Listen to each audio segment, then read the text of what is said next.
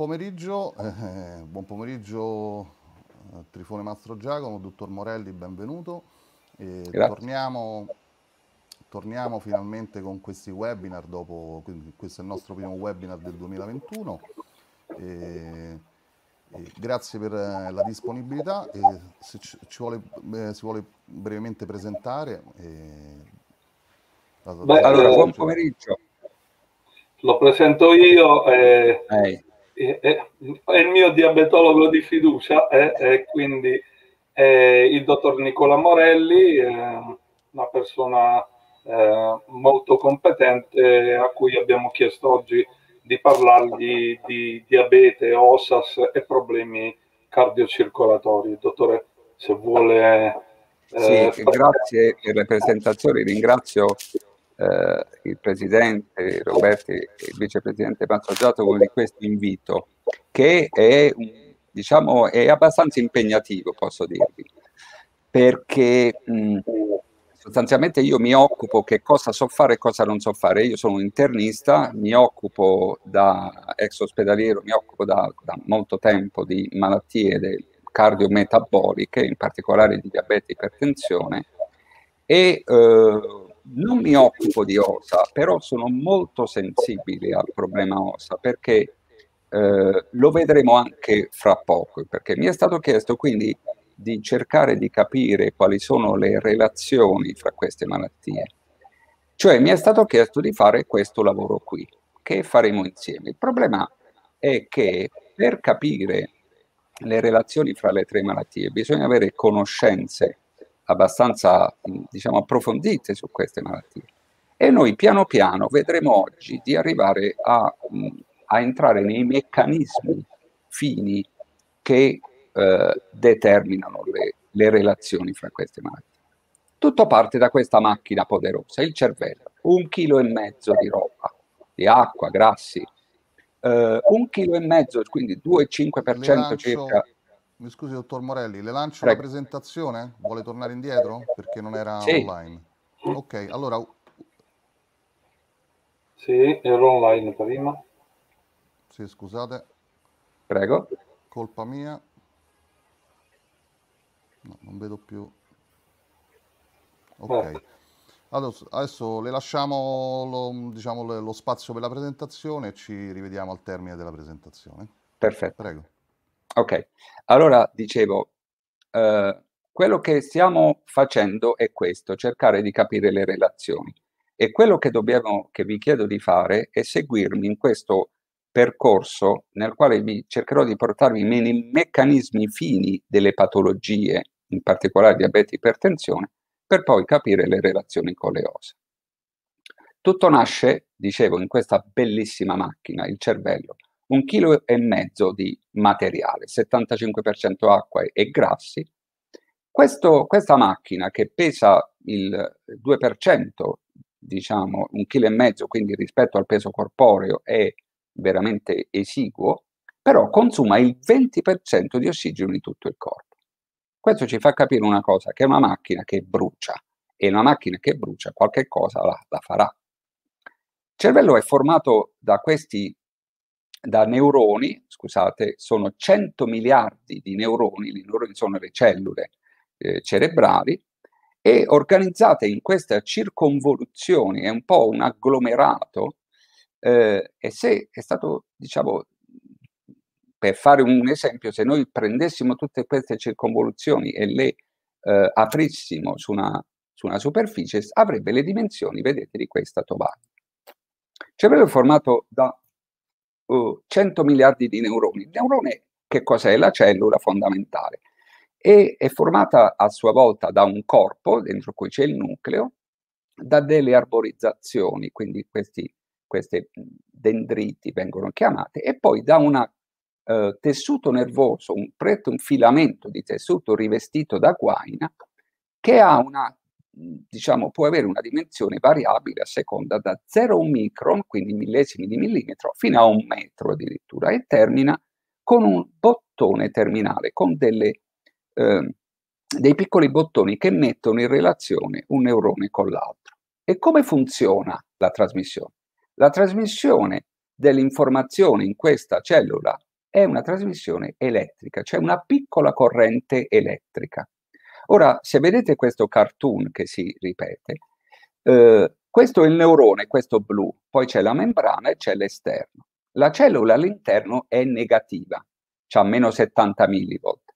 Quando l'informazione arriva, eh, avviene lo scambio attraverso questi ioni sodio-potassio, quindi immaginate che un'onda, la, il neurone da negativo diventa positivo e poi torna negativo, cioè questo diagramma qui da meno 70 millivolt a più 30 millivolt a meno 70 millivolt e così passa l'informazione. L'impulso nervoso ha una direzione, non solo, ed ha una velocità di trasmissione.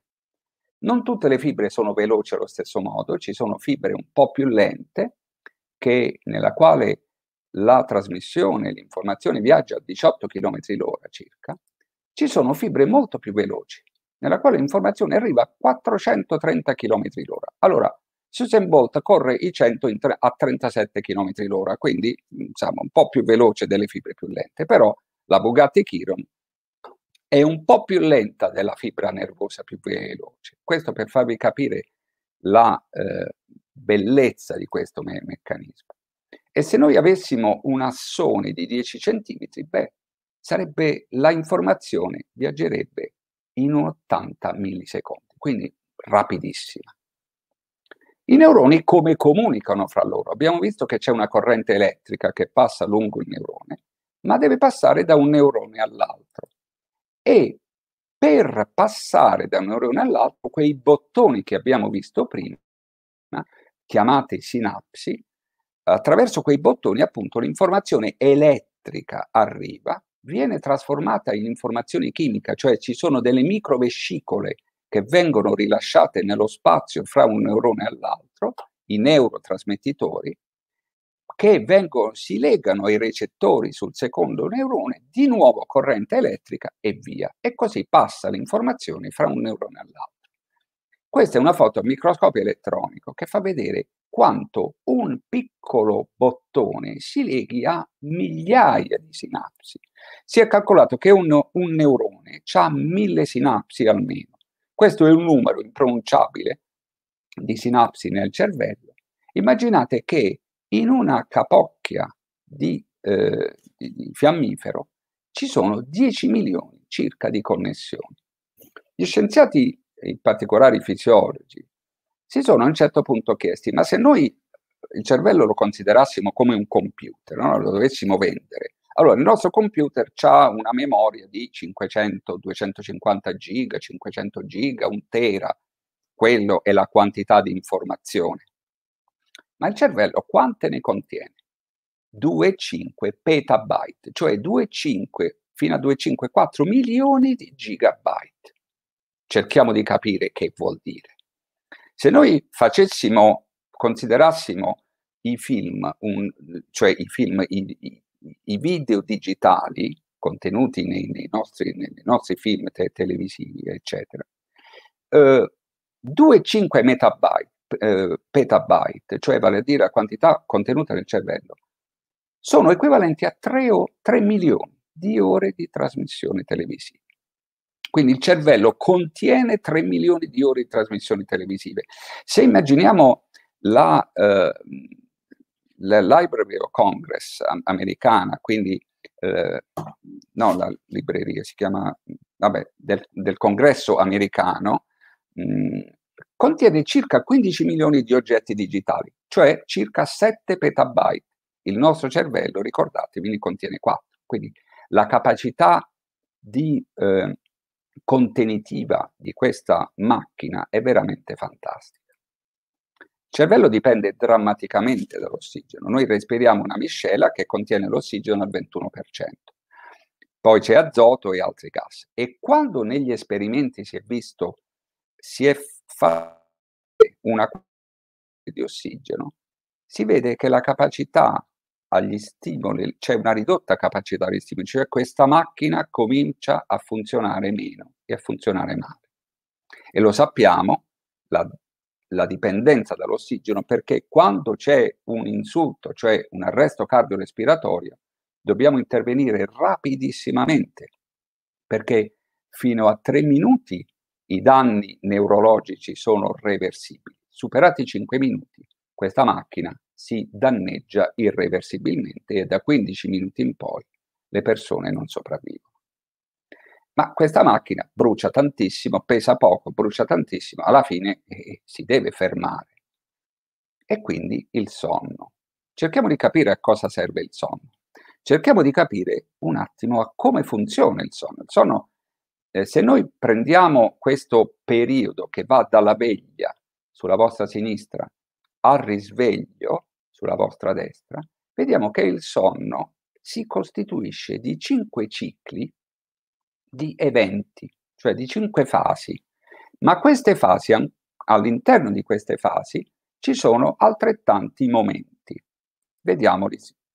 Nella prima fase, quando ci addormentiamo, cominciamo i muscoli a, a rilassarsi, però tante volte eh, abbiamo dei crampi. Vi è capitato mai di, di la sensazione di cadere nel vuoto? No? Quella è una contrazione muscolare che si ha in questa fase, la vostra alla vostra sinistra in giallo. Poi comincia il sonno eh, leggero, questo sonno più leggero, l'attività cerebrale rallenta, la frequenza cardiaca si abbassa, la temperatura si abbassa, cominciamo a rilassarsi, i muscoli si rilassano, eh, continua con sempre un sonno nella fase del sonno eh, profondo, quindi il, questa, ehm, in questa fase il sonno diventa più profondo noi non riusciamo, se siamo svegliati non sappiamo più dove siamo sostanzialmente e in questa fase l'organismo comincia la fase veramente di rigenerazione. Poi, poi la fase più importante e più strana è questa del sonno REM. Vedete queste fasi in rosso. Ora, se vedete, queste fasi in rosso aumentano via via che si va dalla prima notte verso la mattina. In questa fase eh, il cervello invece è attivo. C'è un aumento dell'attività cerebrale, c'è un aumento della circolazione, della respirazione, però il nostro corpo è come paralizzato. Cioè le informazioni che noi abbiamo non vengono trasmesse ai muscoli chiamato appunto il sonno paradosso. Quindi se facciamo un recupero di queste informazioni, vediamo che durante la veglia la, le informazioni entrano ed escono dal nostro cervello. Durante la fase non REM, cioè la fase di sonno profondo, la corteccia viene come disattivata e durante invece le fasi di sonno REM la corteccia è attiva, molto attiva, però la motricità è inibita, non ci muoviamo. A che cosa serve il sonno? Allora, questa immagine sulla sinistra la dovete immaginare come un'immagine che deve servire a spiegare il concetto. Fra un neurone e l'altro e fra eh, catene di neuroni ci sono dei canali che durante la notte, una delle ipotesi, vengono aperti. In questi canali vengono sversate le scorie che vengono prodotte in questa attività. Ovviamente il cervello abbiamo detto che brucia, ha un'attività intensa, produce delle scorie che sono la proteina tau, la beta-amiloide, sono sostanze che devono essere portate via. Ebbene, è come se si aprissero questi canali. Questo è un neurone, alla vostra sinistra è un neurone, e questi canali entro il quale vengono sversate. Questa era un'ipotesi su un lavoro fatto sui topi, ma 2021, praticamente dieci giorni fa è apparso questo articolo che conferma sugli umani come la deprivazione del sonno comporta l'accumulo di queste sostanze che sono patologiche, cioè che sono le, le sostanze di scarto. E seguitemi un po', queste sono immagini. Eh, che cosa hanno fatto? Hanno utilizzato un mezzo di contrasto e che è in rosso nelle vostre immagini. Questo mezzo di contrasto lo dovete immaginare come l'equivalente delle scorie, ok? Quindi durante il sonno c'è una certa quantità di queste scorie, ma quando andiamo quindi nella parte B, quando andiamo nella parte A, vedete, i soggetti con deprivazione del sonno, la quantità di scorie tende ad aumentare drammaticamente. Tant'è vero che, vedete C, la differenza, la differenza significa sottratto uno all'altro, in soggetti con deprivazione di sonno, queste scorie tendono ad aumentare drammaticamente nel cervello. Significa che abbiamo la conferma in diretta che il sonno serve esattamente a pulire il cervello dalle scorie. Durante il sonno vengono, c'è la riparazione delle cellule in particolare del DNA, che sono le nostre informazioni. Durante il sonno, quelle sinapsi, questa è un'altra teoria, le sinapsi che abbiamo visto che si formano e si, eh, si e mutano col tempo, perché il cervello è in continua evoluzione, c'è una plasticità neuronale. Bene, queste sinapsi durante il sonno vengono pulite come se fosse, immaginiamolo, una potatura dell'albero. Quindi Prima del sonno si hanno, durante l'attività si formano queste sinapsi, durante la notte viene la potatura e siamo pronti per il giorno dopo. Ma ancora più importante, plasticità ne- neuronale, che cosa significa? Se io faccio delle cose, attivo delle aree del cervello particolari che sono deputate a fare queste cose e questo fa sì che il numero di neuroni e di interazioni fra neuroni aumenti ma soprattutto da un punto di vista pratico, che facciamo nel sonno? Rielaboriamo le cose che facciamo durante la giornata. Eh, è, è, noto, per esempio, gli studenti che stanno sotto esame durante la notte continuano a ripetere, poi si alzano, si ricordano che non hanno fatto qualcosa. È un'attività di rielaborazione e di pulizia delle informazioni giornaliere. Andiamo invece alla parte che più ci interessa, eh, il risparmio di energia. Abbiamo visto che durante il sonno, soprattutto le fasi non REM, c'è una riduzione dell'attività mh, metabolica in particolare, tant'è vero che la temperatura tende ad abbassarsi. E vediamo che questo ha importanza con lo sviluppo dell'ipertensione, con lo sviluppo dell'ipertensione. Sappiamo che durante il sonno la temperatura si abbassa, abbiamo visto che la frequenza cardiaca si abbassa, la pressione si abbassa. Tant'è vero che questa è una pressurometria delle 24 ore, che è l'apparecchio della pressione messo al braccio che rimane 24 ore. Guardate che cosa succede durante il sonno. Questa è la pressione sistolica, comincia la rilevazione a mezzogiorno e finisce a mezzogiorno. Ebbene, durante la notte, in condizioni assolutamente normali, la pressione si, massima si abbassa, cioè la sistolica, quindi la pressione minima si abbassa, la frequenza cardiaca che qui non è evidenziata si abbassa lo stesso. Ma i soggetti che hanno le osa, invece, purtroppo, hanno una condizione nella quale questa situazione non avviene perché eh, la pressione, noi vediamo soprattutto che la pressione si mantiene elevata, ma soprattutto potrebbe avere anche un reverse dipping, cioè una pressione addirittura più elevata la notte del giorno.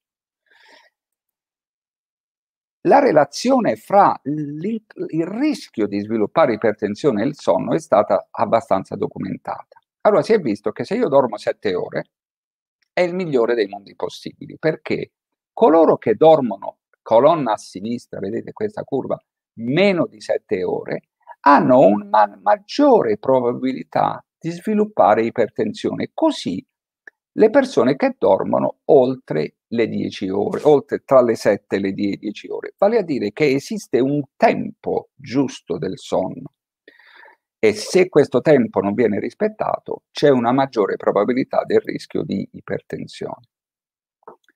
Così come le apnee. Vedete AHI è apnea ipopnea index, che è un numero che si, si trova in polisonografia, che ci indica semplicemente quante apnee noi abbiamo in, in un'ora. È un, valore che serve a valutare altre cose.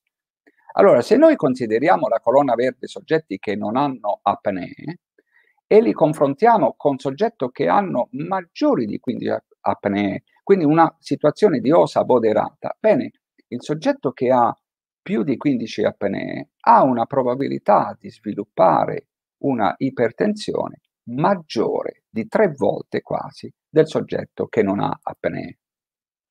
E le relazioni con le malattie cardiovascolari sono ben note anche da un punto di vista numerico.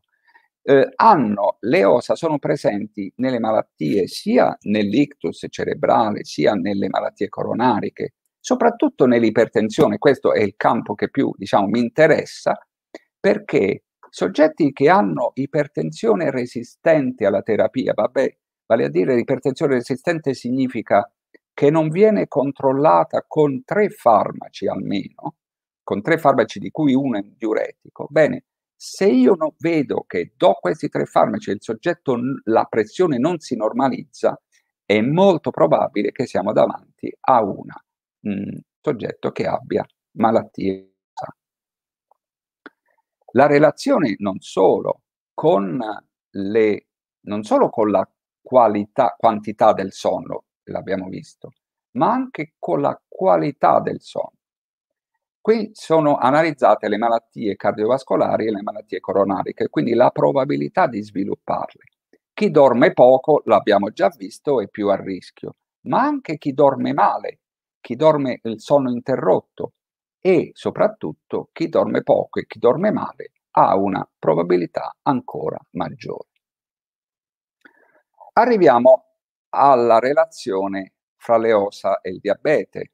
Il primo dato è numerico, il 40%, il 40% dei pazienti con ossa hanno il diabete, quindi c'è un dato, diciamo, eh, probabilistico. Questi sono gli studi, ve li ho portati tanto per farvi vedere che non vi invento cose, sono studi e eh, anche soggetti non diabetici, questo è uno studio fatto su soggetti non diabetici, vedete sulla vostra sinistra abbiamo l'emoglobina glicata, che è la glicemia media, no? E sulla, sotto abbiamo le apnee. Allora, quanto maggiore è il numero di apnee, tanto più alta è il valore di glicemia, pur in soggetti non diabetici. Quindi la relazione è chiara. Ora mi direte, però, vi devo portare all'interno dei meccanismi fini. Eh, noi nel nostro corpo produciamo una serie di sostanze chiamate ormoni, che voi conoscete benissimo, e io punterò l'attenzione su due di questi ormoni, la leptina e la grelina. La leptina è ormone prodotto eh, sostanzialmente dal tessuto adiposo e la grelina dallo stomaco. Allora, eh, gli ormoni hanno un cosiddetto andamento circadiano, cioè non vengono prodotti dall'organismo sempre con la stessa quantità durante la giornata. La leptina in particolare, come vedete, ha una produzione massima durante la notte e soprattutto nella fase del sonno, eh, del sonno profondo. Che fanno questi due ormoni? La leptina va a stimolare il centro della sazietà, cioè se io dormo e produco la leptina, la leptina arriva al livello del cervello, del centro della sazietà e lo, e lo, e lo, e lo stimola, significa ci dà l'informazione di essere sazi e blocca il centro della fame. Al contrario la grelina, la grelina viene prodotta dallo stomaco, invece stimola il centro della fame e ci porta alla ricerca del cibo. L'insulina agisce come la leptina. Ora guardate che cosa succede nella leptina in soggetti che dormono, forse pure troppo, vedete la leptina viene prodotta in adeguata, in adeguata quantità, soggetti che invece in quali il sonno viene interrotto, la leptina viene prodotta di meno. Allora, se viene prodotta di meno la leptina, che cosa si ha? Questi sono soggetti deprivati di, di sonno. Bastano due giorni e si vede che la leptina si riduce, la grelina aumenta, il soggetto ha più fame e ha più fame e va alla ricerca degli zuccheri. Quindi la deprivazione del sonno attraverso l'interazione ormonale si lega alla deprivazione degli zuccheri. Andiamo ancora più addentro nella fisiopatologia. Lo so che è difficile, ma se mi seguite andremo piano e arriveremo a capire per bene le interazioni. Allora, qui abbiamo il sonno breve frammentato o la ipossia, cioè eh, l'apnea in, induce una ridotta quantità di ossigeno al cervello. Che cosa provocano? La prima cosa, il sonno breve frammentato la provoca la produzione di citochine infiammatorie. Sono delle sostanze che vanno ad agire sull'endotelio. L'endotelio che cos'è? Non è altro che la carta da parati che riveste all'interno i vasi, i nostri vasi sanguigni la cui integrità, se la carta da parati è perfetta, l'endotelio è, è funzionale, benissimo, il vaso sta bene, ma questo, quando le citochine infiammatorie determinano interruzione dell'endotelio, cioè una disfunzione endoteliale, questo innesca una serie di danni alla parete del vaso che portano all'aterosclerosi. Abbiamo visto che se il sonno viene interrotto, quella fase di slowdown, di, di riduzione dell'attività simpatica, quindi dell'attività dell'apparato cardiovascolare, viene interrotta. Quindi la pressione aumenta, ma la pressione aumenta dove va a aumentare? All'interno del vaso. L'interno del vaso lo immaginate come un tubo dell'acquedotto, se gli aumento la pressione rischio di danneggiarlo. È questo che avviene quando c'è la ipertensione arteriosa, il meccanismo di danno. Un altro concetto difficile e che sarà spiegato fra poco è lo stress ossidativo. Quindi ancora queste citochine infiammatorie inducono uno stress ossidativo che porta all'insulinoresistenza, cioè il nostro organismo diviene resistente all'azione dell'insulina e questo porta al diabete. Finora sono solo concetti, ma vedrete come fra poco entreremo in questo meccanismo e lo capiremo fino in fondo e poi l'ipercolesterolemia e poi, come abbiamo già visto, la riduzione della leptina, l'aumento della grelina che comportano un aumento dell'appetito, che comporta l'aumento del peso e l'obesità ci porta al diabete. Questi studi sono tutta una serie di studi che dimostrano la stessa cosa, cioè le alterazioni del sonno comportano l'insulino resistenza. Questi sono studi che vengono fatti con la, i primi, questi sulla vostra sinistra, eh, in, eh, riducendo la quantità del sonno e quindi vedete che aumenta l'insulino resistenza. Eh, questi alla vostra destra sono eh, studi fatti frammentando il sonno, quindi interrompendo il sonno con gli stessi risultati, così come l'ipossia. Alterazione del sonno, insulino resistenza. Io so che mi odierete fra poco, ma dobbiamo capire l'insulino resistenza, se no non abbiamo chiaro, rimane una parola. Come facciamo a capire l'insulino resistenza? Ci aiuta il nostro Albertone nazionale, che si mangiava gli spaghetti. Gli spaghetti. Gli spaghetti arrivano nell'intestino dell'Albertone e quando arrivano nell'intestino lo zucchero contenuto e i grassi vengono assorbiti, entrano nel sangue, nel circolo sanguigno e arrivano al pancreas in particolare, a delle eh, c'è la parte di pancreas endocrino, tenete presente che il pancreas ha tutta una parte che serve a digerire le sostanze, ma quello che a noi interessa è la parte endocrina. Che cos'è? Sono una serie infinita di questi agglomerati di cellule sono piccole cellule in strettissimo contatto con dei piccoli vasi sanguigni, quindi gli spaghettoni al- dell'albertone con lo zucchero arrivano a livello di queste cellule e queste sono cellule in grado di produrre insulina, un tipo di cellula, e glucagone, l'altro. Questa è una cellula che produce insulina. Il meccanismo è questo. Il glucosio entra, è come un termostato, tanto glucosio entra, tanta insulina viene prodotta. Perfetto. Ora eh, abbiamo chiaro questo primo meccanismo. Vediamo che cosa succede quando l'albertone nazionale mangia gli spaghetti. Abbiamo detto che l'insulina aumenta, ma a che cosa serve l'insulina? Bene, noi abbiamo che quando mangiamo gli spaghetti c'è lo zucchero questi pallini rossi, pallini gialli sono i, i, i grassi sostanzialmente e qui dentro sappiamo che c'è l'insulina.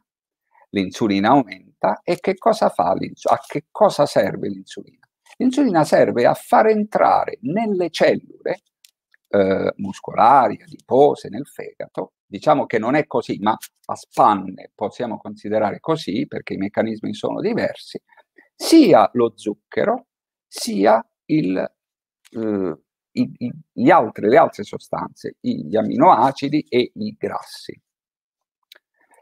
Quando io però ho finito di mangiare, rischio che il valore del mio glucosio nel sangue scenda. Allora che cosa succede? C'è l'antagonista, il glucagone. Quindi quando abbiamo finito un pasto tra il pranzo e la cena, il meccanismo è completamente diverso. Il glucagone aumenta. Cosa fa il glucagone? Fa l'esatto contrario, cioè rimette nel sangue queste sostanze, glucosio e grassi, questi arrivano per esempio al muscolo e il muscolo li utilizza come combustibile. Questo è quello che avviene normalmente. Allora, finora abbiamo visto questi meccanismi e andiamo al nocciolo del problema. Noi abbiamo, siamo nel sangue, qui tutto intorno, questa è la cellula muscolare, c'è lo zucchero, c'è queste freccette blu sono l'insulina e qui ci sono i recettori per l'insulina. Questi rossi sono dei canali. Il meccanismo in condizioni normali è questo. L'insulina si lega al recettore come una chiave in una serratura. Co- dialoga col canale, apre il canale, lo zucchero entra e abbiamo una condizione, questo accade nella condizione di normalità. Sappiamo poi che cosa succede. Cos'è l'insulino resistenza? Vi faccio vedere uno solo dei tanti meccanismi, perché se no è veramente difficile, ma ci serve per capire. Questo gioco fra recettore insulinico e insulina non c'è più perché i recettori scompaiono, vengono, si dice, internalizzati. Questo accade per moltissime situazioni. Tenete presente che il grasso viscerale che noi abbiamo, il grasso che abbiamo all'interno dell'addome, fa esattamente questo problema. E quindi che cosa abbiamo? Abbiamo che lo zucchero non riesce a entrare nelle cellule, lo zucchero aumenta nel sangue.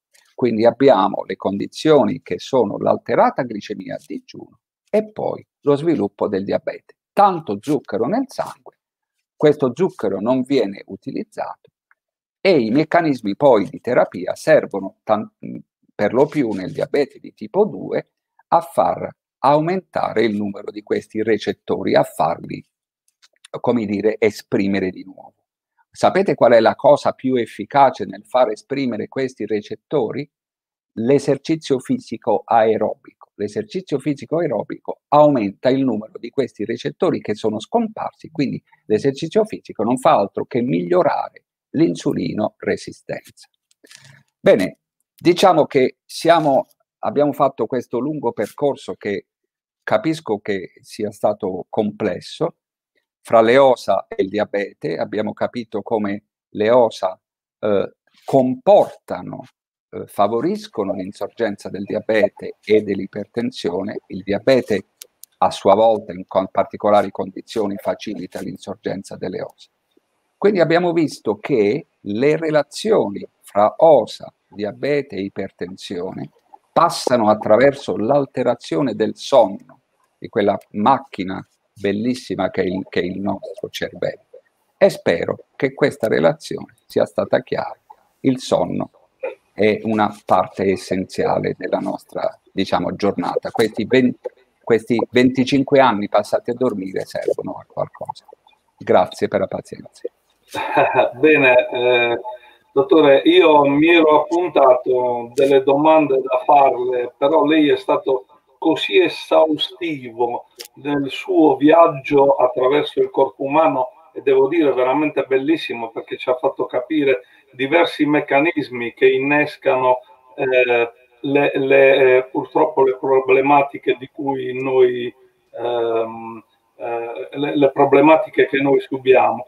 E, e quindi alla fine però eh, lei ha già dato tutte le risposte a qualche domanda, ma una in particolare gliela devo fare e infatti me la sono puntata qui ed è questa. Il controllo del diabete eh, cioè trattare le ossa eh, migliora il controllo del diabete e dell'ipertensione e inoltre il diabete 2 è reversibile? Allora, grazie per le domande, sono veramente, erano, facevano parte di un'altra parte della relazione che poi ho tolto perché era veramente eh, complessa. Allora, eh, diciamo, eh, rispondo alla prima domanda. Eh, se l'EOSA, le relazioni l'EOSA col diabete.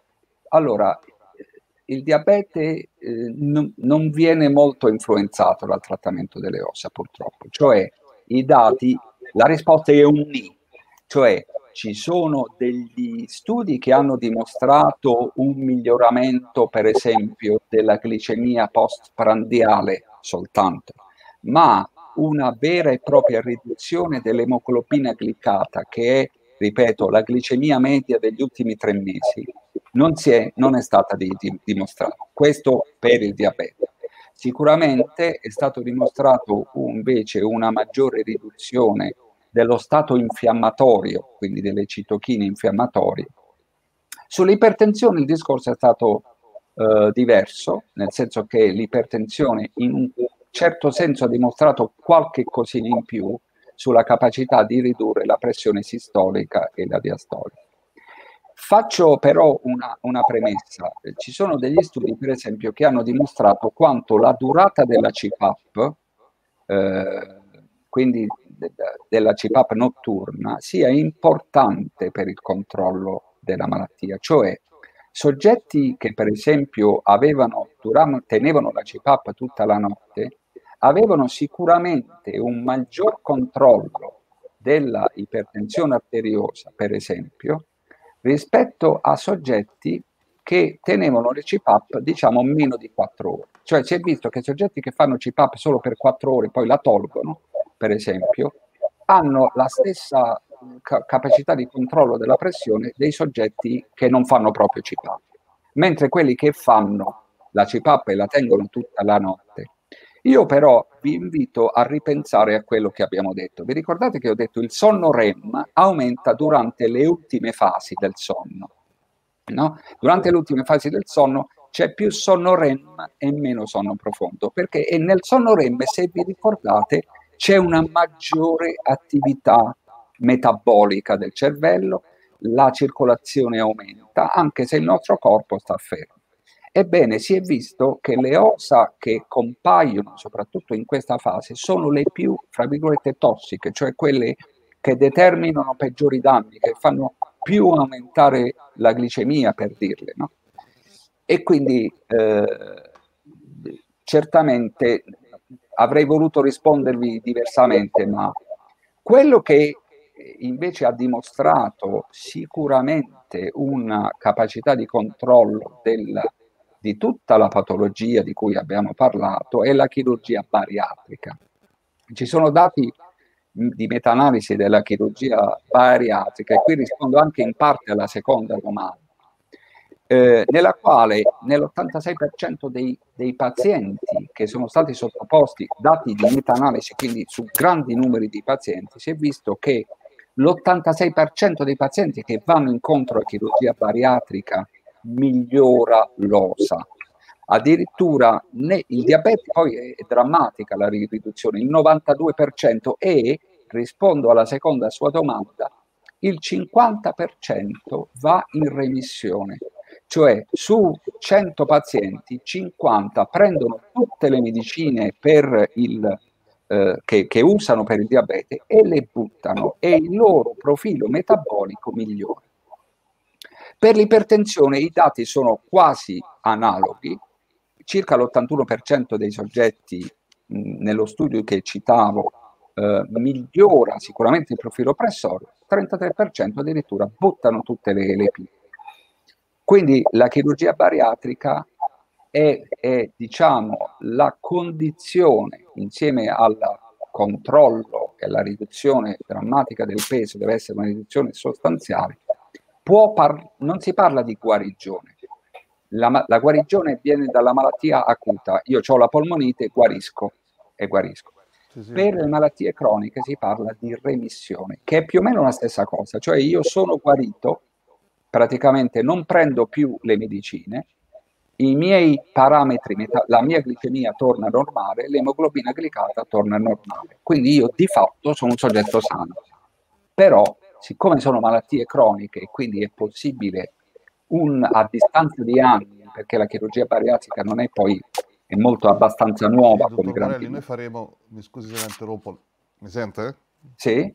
Sì, no, noi faremo un, un, webinar con il professor Vicini e parleremo di chirurgia, di, non Perfetto. di bariatrica in particolare, perché è un tema che forse vogliamo affrontare in futuro, ma è, anzi le anticipo che stanno per uscire proprio le linee guida dell'ERS, sì. dove viene indicata eh, NOSSIPAP Guideline, che credo usciranno a giorni, eh, in cui eh, verrà specificata proprio la terapia bariatrica come una delle terapie per l'osa. E questa certo. è un po' la novità. Eh sì. Quindi cioè, cioè, a tutti gli effetti la terapia bariatrica è una terapia per l'osa perché, eh, come Assolutamente.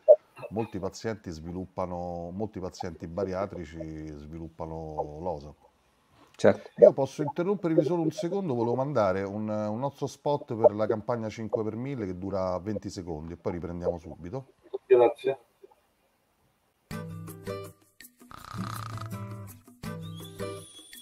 Sostieni con il 5 per 1000 l'associazione Apnoici Italiani APS per le attività informative e di prevenzione. Scrivi sulla dichiarazione dei redditi codice fiscale 97901470 Per maggiori informazioni apneedelsonno.it. Mentre parlava, chiedo scusa se interrompo, eh, mi è arrivata una domanda a cui penso però che abbia già dato risposta, cioè la domanda è questa, cosa si può fare in presenza di osa per riuscire a perdere peso? Lei l'ha già detto, o attività fisica oppure per quelli senza speranza eh, eh, la chirurgia bariatrica. Sì, eh, però, però, però. Allora, posso, se posso intervenire a questo punto, eh, noi abbiamo delle armi anche farmacologiche in particolare sto parlando del diabete perché io mi, non mi occupo, mi occupo di diabete in particolare. Ci sono dei farmaci che sono utilizzati cost- ormai eh, frequentemente nella terapia del diabete che hanno come effetto eh, secondario, non importante però, una perdita di, di peso. Sono i cosiddetti GLP-1 receptor agonist se mi consentite, vi spiego più o meno come funziona. Eh, quando noi mangiamo, tutti noi, eh, il cibo arriva nel nostro intestino, il nostro intestino produce una delle sostanze chiamate GLP1 e GIP. Questi sono ormoni, ormai avete familiarità, quindi chiave nella serratura, questi ormoni fanno tre cose. Vanno a stimolare quella cellula pancreatica che abbiamo visto a produrre insulina in modo glucosio dipendente, rallentano lo svuotamento dello stomaco e quindi consentono un assorbimento più lento, arrivano a livello del cervello e eh, bloccano, agiscono su quel centro della fame che abbiamo già visto nella slide pre precedente, bloccando il senso della fame e quindi praticamente sono dei farmaci che controllano il diabete, fanno perdere peso. Questi stessi farmaci a dosaggio maggiore rispetto a quello usato per il diabete sono indicati nella terapia dell'obesità grave, eh, hanno effetti collaterali di tipo gastrointestinale, nausea vomito, però se uno ci sono soggetti che rispondono in modo di, diverso. Questi farmaci sono da tempo utilizzati nel trattamento dell'obesità eh, anche in soggetti non diabetici ci sono studi sui farmaci nuovi, ma studi in corso, che dimostrano come questi farmaci ottengono dei risultati quasi sovrapponibili in alcuni casi alla chirurgia bariatrica, che rimane sempre comunque, come ha detto giustamente il presidente Roberti, ormai il cardine. E eh, il cardine non solo per le ossa, eh, il cardine anche per, perché la, la bariatrica viene considerata in soggetto obeso, diabetico, con un BMI superiore a 40, un'obesità grave, in non controllo me- metabolico. Quindi dobbiamo pensare a queste tre entità come un unicum, perché noi, eh, signor, il vicepresidente prima mi ha detto diabetologo, no, io sono un internista, io sono una persona che cerca di curare le persone, non le malattie, perché le persone, che, che vuol dire questo? Vuol dire che la malattia non viene mai da sola, specialmente in ambito cardiometabolico, penso di averlo dimostrato stasera, e non ci ho messo in mezzo le dislipidemie, cioè quindi l'ipercolesterolemia, ma è un unico. Sì, quindi diciamo dobbiamo... Medicina, se posso, uh, Prego. medicina predittiva? Medicina predittiva? Sì, sì. Sì. È arrivata una domanda mh, da parte di Barbara Chirra per un bambino di 9 anni, però cre... sì. la mando in sovraimpressione. Io non vedo, però purtroppo non ho lo schermo. Gliela leggo io. Dottore, ho un bimbo di 9 anni, nato sì. pretermine, ha sì. sempre e tuttora soffre di osa. Il palato ogivale è stato sollecitato all'ampiezza attraverso un apparecchio ortodontico tenuto per un anno. Purtroppo credo che non sia stato sufficiente. Ci consigliano oltretutto intervento adenoideo. A quali problemi andiamo incontro se non risolviamo in breve? Le apnee sono di grado grave, curiamo già l'alimentazione a basso contenuto di glutine, latticini e cibi troppo elaborati per evitare il reflusso. Poi continua, ma non lo eh, Sì, allora io purtroppo non saprei rispondere a questa domanda e quello che so fare lo so fare, glielo dico, quello che so fare non ho alcun... perché io, come vi ho detto, non mi occupo di, di, di osa io non so se il, il bambino sia obeso e qui apro una, una parentesi perché noi abbiamo un'epidemia di obesità infantile che poi è una eh, ed è un'epidemia mondiale, ma in particolare nell'Italia e paradossalmente in particolare nel sud, dove dovremmo avere maggiore disponibilità di, eh, diciamo, di buon cibo, però purtroppo i, i, dati di letteratura ci dicono che il, il, problema dell'obesità nelle regioni meridionali è maggiore rispetto al nord. Questo non significa che io voglia il contrario, ma comunque è un problema. E eh, una cosa che vorrei smentire, vi prego, è quella che il bambino obeso eh, eh, poi durante un, una cosa che si diceva, almeno quando ero piccolo, eh, vabbè, quando cresce, quando dà lo sviluppo, poi la situazione passa. Non è vero perché il 60% dei bambini obesi diventano adulti obesi. L'obesità è, è un problema forse legato anche a, ai soggetti pretermine per meccanismi che non stiamo andando ora sono mo- molto complessi. Comunque la pediatria non è, non è un mio campo. Bene, io non ho altre domande al momento. Io Luca. ne avevo, sto scrivendo alla signora Kirra per dire di inviarci il materiale che lo invieremo a dei pediatri. E io avevo una domanda in realtà.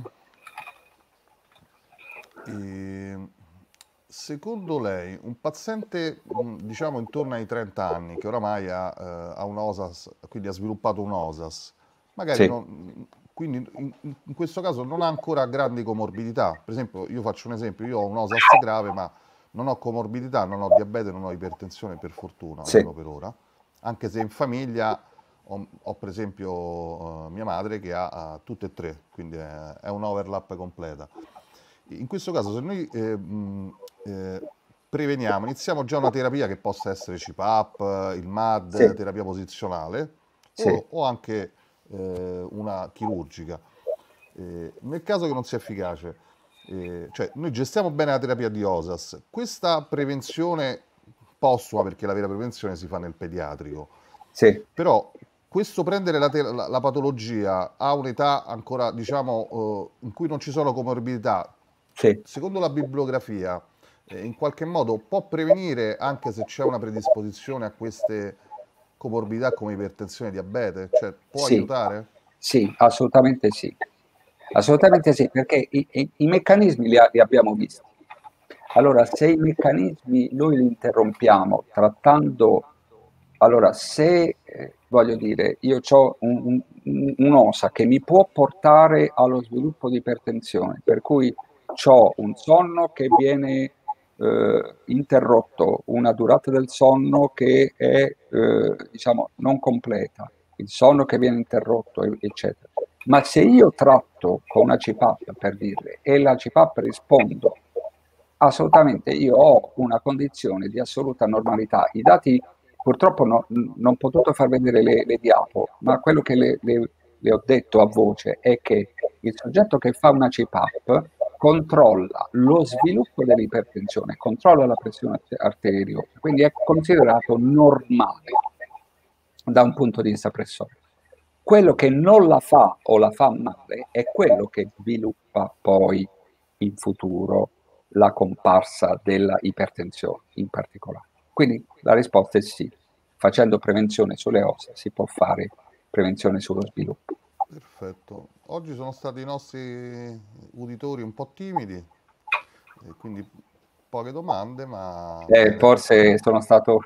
È, è stato molto esaustivo lui. No, no, eh, eh, sì, no, ha scritto che è stato chiaro. Quelle, molto... Ha risposto a tante devo... di quelle...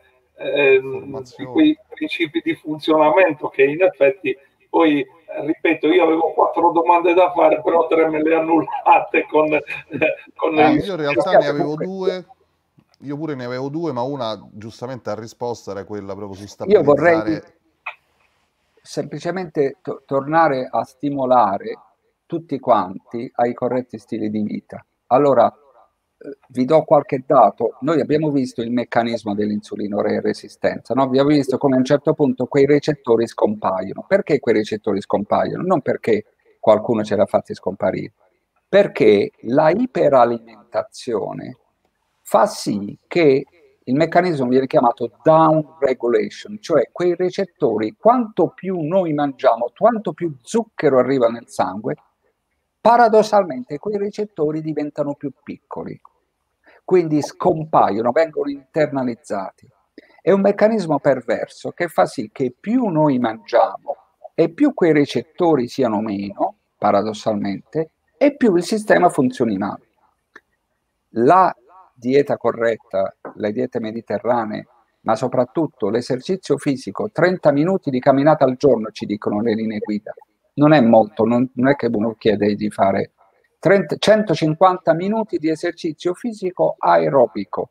Sapete come si fa a capire se l'esercizio fisico è aerobico? È molto semplice. Se io comincio a camminare, eh, comincio ad avere un po' il fiatone, un po' comincio a sudare, però posso parlare con la persona che mi sta accanto, questo è per definizione, da un punto di vista clinico, l'esercizio aerobico. L'esercizio diventa anaerobico e non va bene quando io non riesco più a parlare con la persona che sta accanto. Quindi eh, dovremmo veramente metterci le scarpette, Covid permettendo, e uscire e farci 30 minuti di camminata al giorno. E se non lo possiamo fare fuori di casa, lo facciamo in casa con una ciclette. Io chiedo ai miei pazienti, lo vedete il telegiornale? Sì. Allora, guardati la ciclette, il telegiornale sulla cicletta sigla di inizio, sigla di fine, sono 30 minuti al giorno e via. E questo è, è, un suggerimento proprio pratico. Anche io ho appena iniziato la dieta perché purtroppo ho fatto le analisi e valori un po' altini, come dire. Eh, eh, beh, io, io, sono di Roma, si sente, quindi diciamo sì. io ho il, il, mito di Albertone, quindi... Eh beh, quindi ho colpito nel segno, Albertone. Sì, ma anche della pasta, diciamo. Eh sì. Va bene. Perfetto. O- ok, allora la, la ringrazio. Aspetta, forse è arrivata un'altra domanda. Ah no, il, il professore è stato chiarissimo. Dottore. Sì, no, qua dicono, eh, eh, ti sei stato tutto chiaro. Il digiuno intermittente è inteso per allungare la pausa notturna di digiuno. Ha effetti positivi come lo sport? Uh, sì, allora, il digiuno intermittente è un po' difficile da mettere in pratica. Allora, eh, perché il digiuno intermittente significa mangiare nelle prime sei ore, otto ore della giornata, sostanzialmente. Ci sono tanti sistemi di digiuno intermittente. La cosa che si può fare senza sconvolgere la, la vita è abituarsi a fare esattamente il contrario di quello che ci piace fare. Allora, noi la cena è il pasto della coccola, no? perché uno torna a casa, sta arrabbiato, eccetera, mangia, quindi rivede la famiglia, eccetera. Invece la cena è il pasto che bisognerebbe evitare. Eh, ci sono degli studi bellissimi che hanno dimostrato come se noi mangiamo nelle prime otto ore della giornata e poi digiuniamo per i restanti eh, quindi 14 ore, 4 più o meno, e allora che cosa avviene in quelle altre ore? Secondo eh, innanzitutto sono stati misurati per esempio quelle citochine infiammatorie di cui parlavo prima e il valore si abbassa nel digiuno intermittente. E il valore delle citochine infiammatorie si abbassa, migliorano tutti i parametri metabolici. Ci sono dei dati che migliorano gli outcome cardiovascolari. Che vuol dire gli outcome? Vuol dire che questi soggetti vanno incontro di meno a eventi cardiovascolari.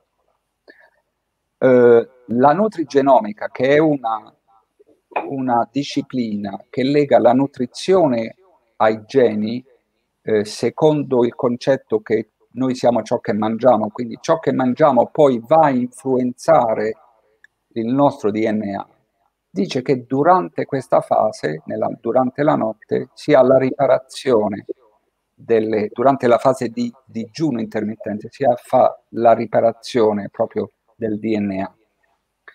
Uh, io cerco, sinceramente, io forse ne ho parlato, io cerco di applicarlo il digiuno intermittente, cioè io mangio molto la mattina, ho spostato il mio pasto principale la mattina, mangio alle 4 e poi cerco di non cenare, cioè non ceno mai o quasi mai, semmai uno yogurt, qualcosina.